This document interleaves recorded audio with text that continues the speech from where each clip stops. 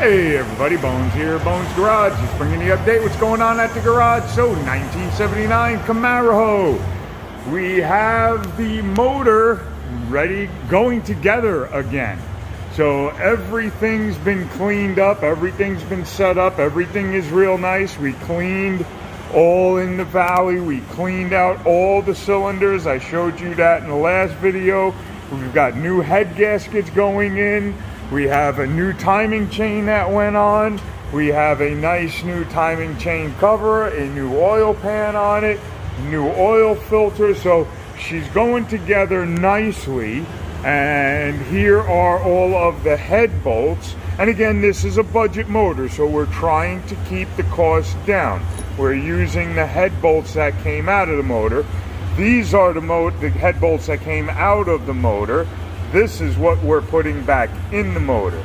Just, it takes 10 minutes to do all these bolts. Just take them to the wire wheel, get all this crap off of them, stick them back in. And he had told me they had just put these bolts in and he'd rather not buy another set of head bolts.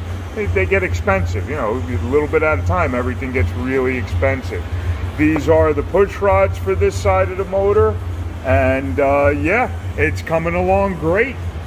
We should have this all together by tomorrow, and hopefully we should be ready to start dropping it in tomorrow night, maybe the day after. Alrighty, guys, I will keep you up to date as we go. Lots of pieces and parts. have fun. Okay, bye.